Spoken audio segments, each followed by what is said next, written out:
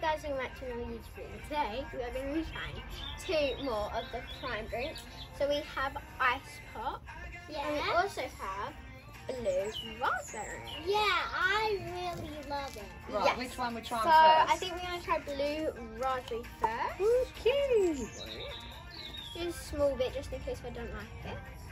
Uh, put that there. And I'm going to try just a small bit. That tastes really good. Me too. Mom. it tastes like something kind of sour, but it's really good. That tastes really good. Mom, I would give this a 9 out of 10. Pretty good. It's a little sour, just a tiny bit. But yeah. So next we're going to be trying. I'm very excited for this one.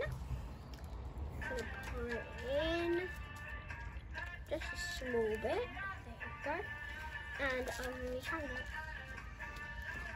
10 out of 10. That is the best drink out of all of them, if I'm being honest. Now I want to So try. all the ones you've tried, that's your favourite ice Yes, pop. out of tropical kinds, KSI, lemon and lime, blue raspberry, That's the one, this is the best one for me.